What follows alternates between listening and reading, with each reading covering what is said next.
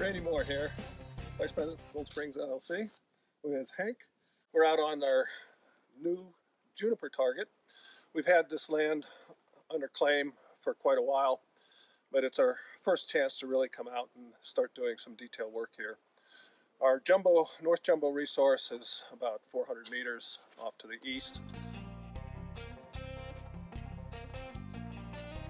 So uh, most of the juniper target is covered by a kind of a quaternary post-mineral colluvium. And, um, but luckily we have uh, windows into that colluvium with uh, historic mine pits like this one. And as you can see, we have some very heavily altered andesite. And uh, grades run uh, plus one gram per ton, plus uh, average grades in 30 grams per ton silver.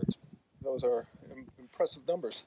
In, in terms of the amount of cover you have out here, does, is this the only window you have? Or? No, we have uh, we have some sparse outcrops, but mostly uh, it's historic mine pits and, um, and trenches.